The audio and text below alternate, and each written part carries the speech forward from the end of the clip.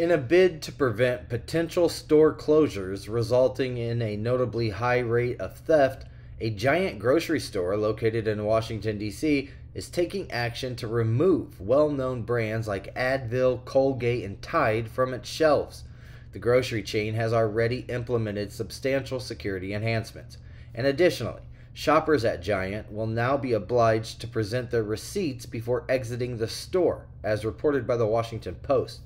Giants president Ira Kress emphasized the commitment to serving the community while also acknowledging the necessity of reducing significant losses and risks to their associates.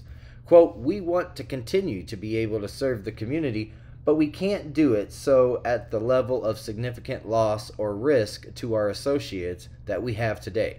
Giant president Ira Kress told the Post, Fox News reported. Now, in May, Giant implemented extensive alterations to their stores, which included heightening security measures, reducing the number of entrances, and securing certain products.